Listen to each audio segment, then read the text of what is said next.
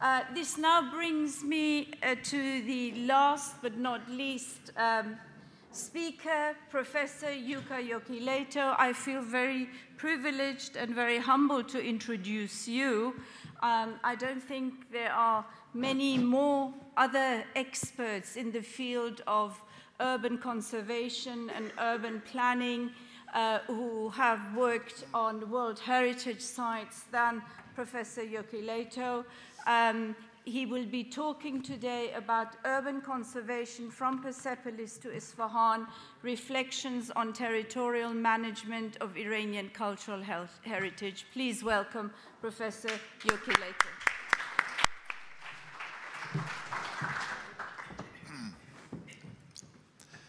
Good afternoon. I think that actually I should stop here now because it's now 16 hours and we should have our coffee.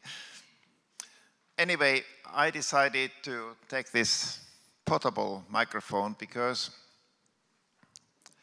I don't want to hide behind this pulpit. Um, my message is relatively simple. I'm going to talk about the context, not about the monuments themselves. And, um, but I'm also trying to link it with the UNESCO World Heritage Convention and also the evolution of the policies related to this convention.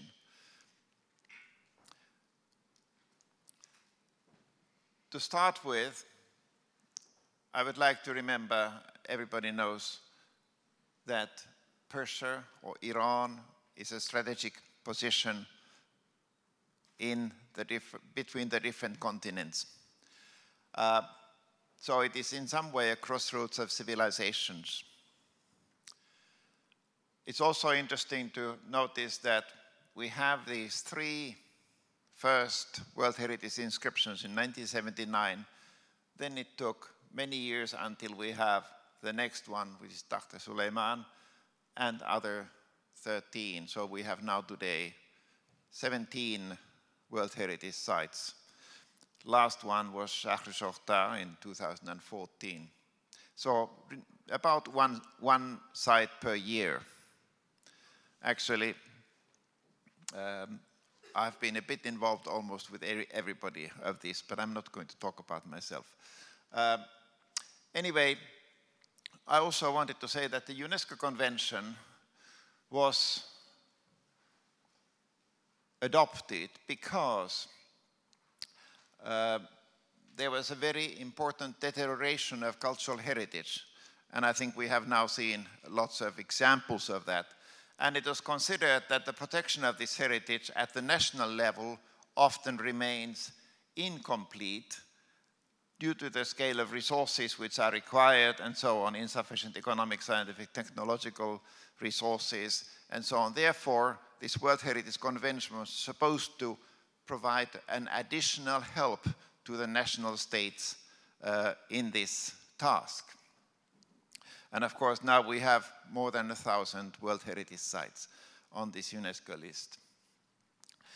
Uh, the World Heritage Convention was adopted in 1972, and there is a whole story about this adoption, uh, where the first, um, but it took several years until um, a number of states sufficient for the, um, shall we say, the material opening of this uh, system became a reality. And so in 1976, the first 25 states were represented in Nairobi in the first General Assembly. In 1977, we have the first World Heritage Session in Paris, and the chairman was Mr. Firuz Bagherzadeh from Iran who was then Director General of Iranian Center of Archaeological Research. The other vice chairmen were Egypt, France, Nigeria, Poland, and the rapporteur was Canadian. In 2014, we have now 191 state parties, which is almost the same number as what UNESCO states, UNESCO member states are. Um, Iran ratified this convention in 1975, and uh, the World Heritage List has now 1,007 properties, which mo most of these are actually cultural heritage properties. So the idea of the World Heritage Committee was to, to make the declaration that the World Heritage List should be exclusive. Only the best are the best. And there was also a recognition given to the so-called progressive authenticity. It means that not only the original stru structure, but also the later significant contributions to the evolution of each monument should be taken into account in this. Uh, I would also, the operational guidelines define how this World Heritage Convention should be interpreted in different practical situations. And, and um, one of the issues is to, that they have defined the criteria for inscription. They were first defined in 1977 in the first World Heritage Committee session. Uh, but it's also interesting to see that if you look at them carefully, you will notice that they have still six cultural criteria and four natural heritage criteria. But there has been an evolution. So today, these, heritage, these criteria are different from what they were in 1970. So it's not a static issue, but it is an evolution. And this evolution actually is based on the evolving concepts of cultural heritage in general. I'm talking also about cultural heritage, not natural heritage. Uh, the outstanding universal value um, was thought at the beginning to, it has now been defined also in the operational guidelines, saying that we are talking about something which is so exceptional as to transcend the national boundaries and to be of common importance for present and future generations of all humanity. That is the statement. It's very difficult to actually translate and to practical guidelines. Take, for example, China or Guatemala or, uh, I don't know, whatever you have, Vatican City. It's very difficult to start talking about national boundaries. I think we need to have some other type of criteria uh, into that. Anyway, more recently, in 1998, there, is a, there was a meeting in Amsterdam, and it was said that the OUV should be identified as an outstanding response to issues of universal nature common to or addressed by all human cultures, which means that we are actually looking at the cultural basis as the reference for defining the World Heritage culture, uh, uh, Outstanding Universal Value. Uh, there are two aspects which are very important. One is the protection and one is the management system. Uh, you have to have protection for the nominated site, but you also have to be able to manage the site properly. Uh, and um, especially the management system has been subject to a lot of discussion over these past 40 years.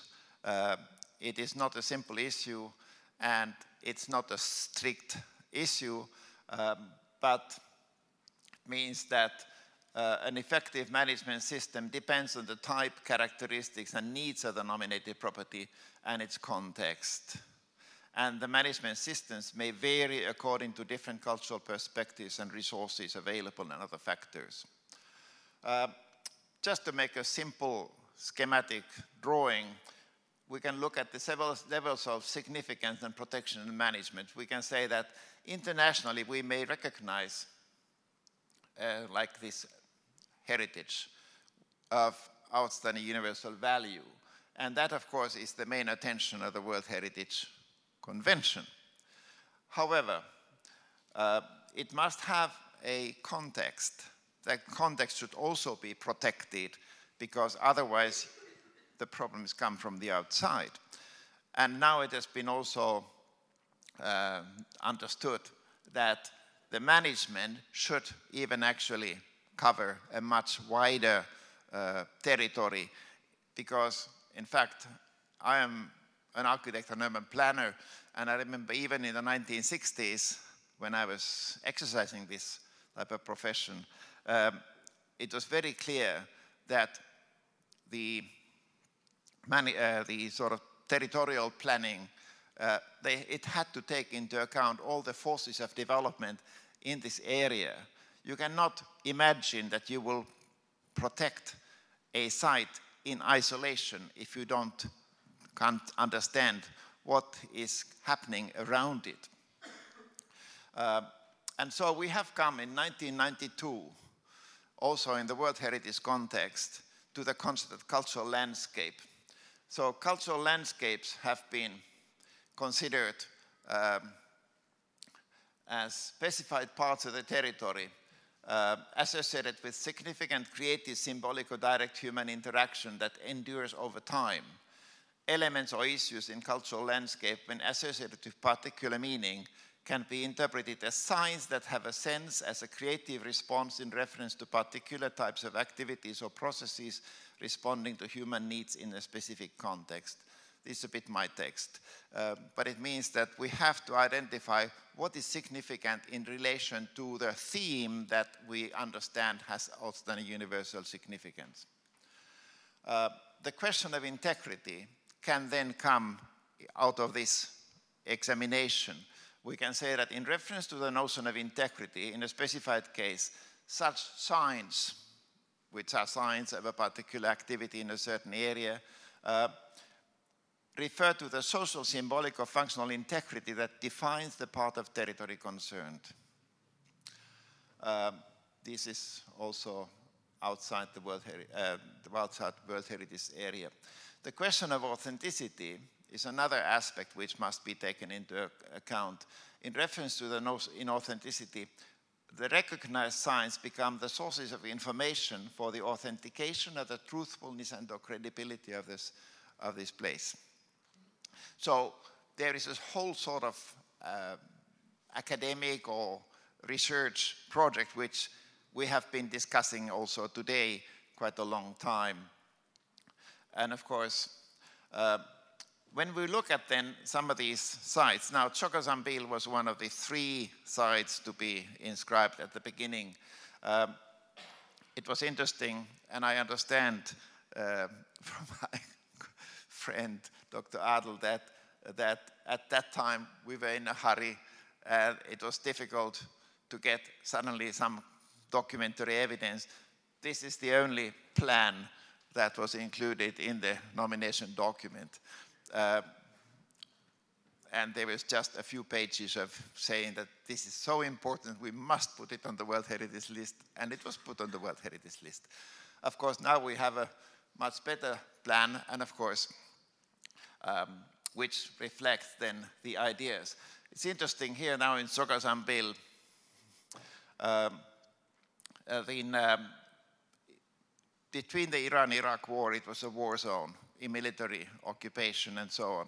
Then gradually it has been liberated from this military occupation and has become subject to quite major conservation projects uh, in collaboration with various, uh, various um, organizations, including the UNESCO Fund, Japan Funds in Trust project and also with ICCROM.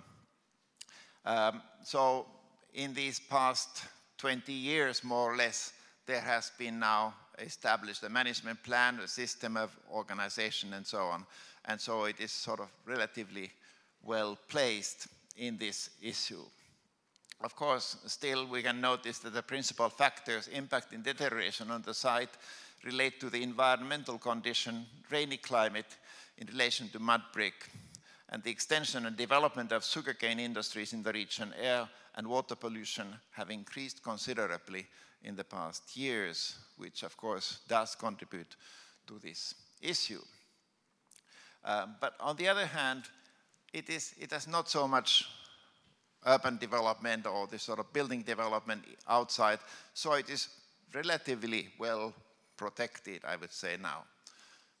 Uh, when we go to Persepolis, as we have heard already, so I'm a little bit like repeating what has been already said.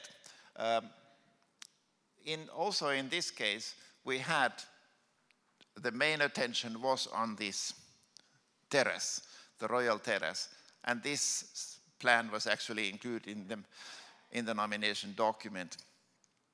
Um, But now we have also understood that it was not the only important monument. We have also other monuments which include um, the tombs and the sacred mountain and so on, plus many other things. So it, it is a sort of like issue, not necessarily so much that you have to put everything on the World Heritage List, but rather that we are aware of this context and that we take note that, of that in the management and planning systems so that we are not losing these connections. In 2003, the periodic report, Ozzy also mentioned it already, talked about the status of the site boundaries, which should be, um, uh, however, sort of like re revised in a certain proposal of renomination was proposed to extend the site boundaries, particularly buffer zone uh, boundaries. Um, because we have all these problems of industrial things, uh, urban development, but also we have in the site, we have the, the sort of nomadic population, we have sort of the traditional people who also have their right to exist in this. So we have to somehow take these all into account in the management system.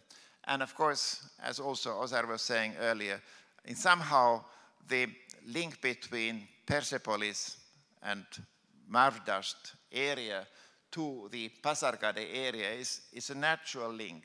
So because they were always linked, there was a water management system. We have the water. They have all these um, dam structures here and so on. So it is part of one whole lands cultural landscape, which I think is important to keep in mind.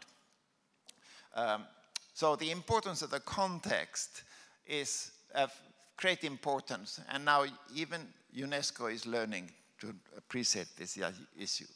Uh, so cultural landscape is defined by UNESCO as the result of human creative cultural expressions responding to the needs of the society with a particular Im importance. Uh, but I think that if we look at Iran, in my view, all Iran is a cultural landscape, or to use another expression, cultural territory. Uh, and if we look at BAM, for example, BAM, you have this fortification, the citadel here, which was partly destroyed in the earthquake in 2003.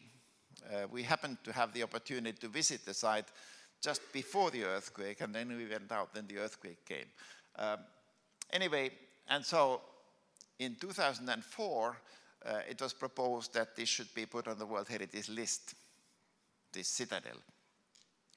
And, but then looking at it, and we collaborated with Dr. Adel here, uh, it was decided that actually we should expand a little bit the list. So we, we took it as a cultural landscape.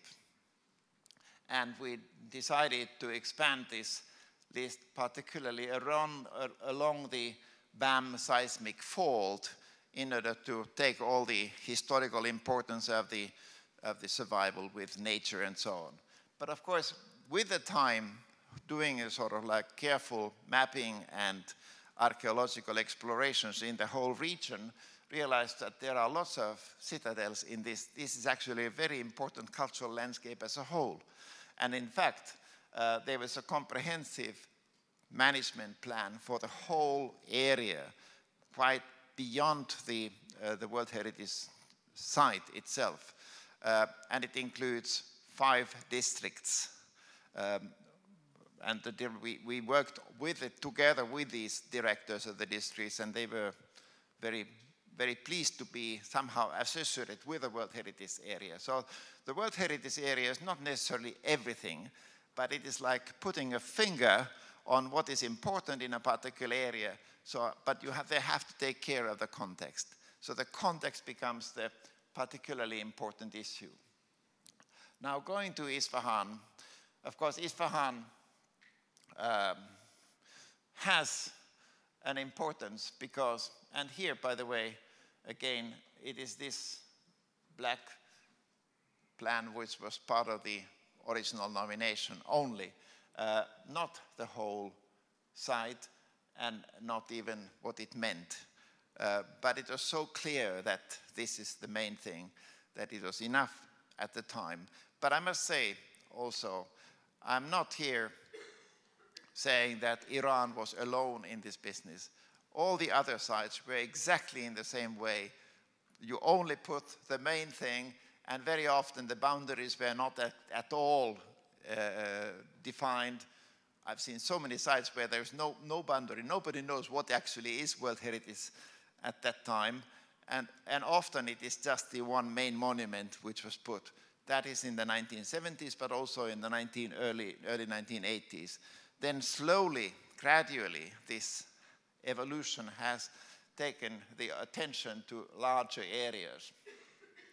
Um, what is interesting now, coming to the 2005, ICOMOS had General Assembly in China, in Xi'an, and the Chinese are very much concerned about the context of their historic urban areas. And so what happened is that there is a Xi'an declaration on the conservation of the setting of heritage structures, sites and areas. And it was decided, proposed that, and there is a long description of these issues, but just in just brief, acknowledge the contribution of the setting. So the setting actually contributes to the significance of the place. If you ignore this contribution of the state of the context, you lose part of the significance of the site itself. Uh, we have to understand, document, and interpret those settings, develop planning tools to control development and change in those places, monitor and manage these issues, and work with local and interdisciplinary and international communities to make it a reality. Uh, UNESCO recommendation then in 2011 actually broadens this even further and we are talking about so-called historic urban landscape concepts, uh, which has become now a, sort of like an attractive topic for many various doctoral dissertations and, and uh, master theses and so on. Uh, the historic urban landscape is defined as the urban area understood as the result of historic layering of cultural natural values and attributes extending beyond the notion of historic center ensemble to, the, to include the broader urban context and its geographical setting. So we are not talking only about what is specifically protected. We are, we are looking at the whole thing and not everything must necessarily be protected, but we understand how it has grown over time. For example, these are some of the lines which define the different uh, different perimeters of historical development in Isfahan, uh, just as a matter of curiosity. Uh, but uh, of course, historic towns are living places. Uh, UNESCO defines historic urban areas, for example, classifies in different categories. One of these is historic towns which are still inhabited and which continue to develop under the various social, economic, cultural situations, which makes it difficult to conserve. Now, Isfahan is one of these places which was in 1930 like this, and 2014 is like that, uh, which is a major change. Of course, if we look at it, we can see that it used to be some, some sort of garden city. We had these fantastic urban, uh, urban houses which still exist. And of course, there have been efforts to, to, to list specific buildings and to protect them as cultural heritage. But I think the problem is how to, how to preserve it as a historic town. So we have to sort of like broaden the issue. I, I've found this uh, exhibition from British Museum um, there is a catalog which was organized in 1976, Isfahan City of Light. Um, and there was also an architectural review which published a special Iran issue at the same time, at the same issue.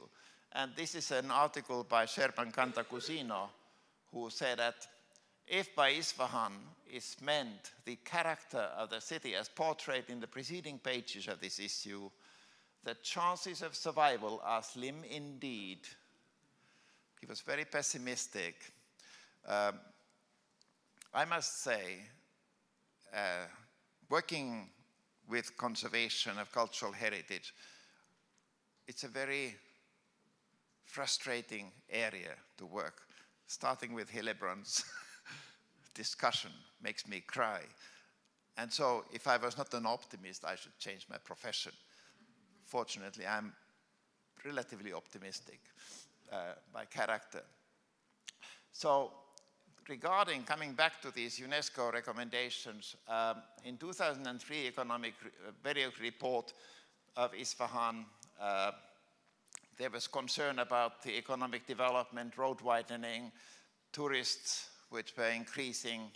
Uh, the city was damaged by the bombardments in the war as well, and there was a risk fire.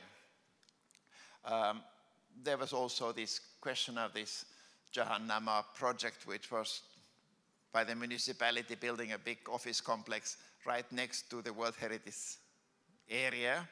In fact, also in this case, there was no buffer zone. So the administration quietly uh, created a buffer zone so that they could then say that, sorry, you are in the buffer zone.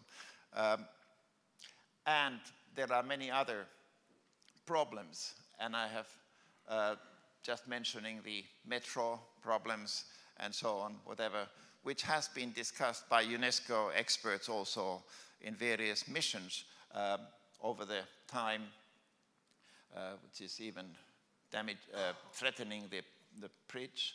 Uh, um, and of course, now when the, when the Masjid Jame was proposed to the World Heritage List, there was also a proposal that we should look at the central, central axis of the whole Isfahan um, which would then make that we have, we have an extended protection in the central areas, not only just the World Heritage areas, but also beyond the World Heritage areas. So it's working towards the historic urban landscape concept. Um, in 2010, um, the UNESCO Commission report says that there was no statement of outstanding universal value yet described for the pro property, the boundary and protective buffer zones must be re-evaluated and delineated. There was no comprehensive World Heritage Conservation and Management Plan for the Maidan Imam property, nor for the historical cultural axis of Isfahan city. But there were, however, numerous conservation, restoration, revitalization, and tourism development projects by ICHHTO. So action was taken, but very often in details. I'm finishing soon. Um, I already proposed I would have finished at four. I'm sorry. Uh, World Heritage decisions. So in 2013, the management plan has been done.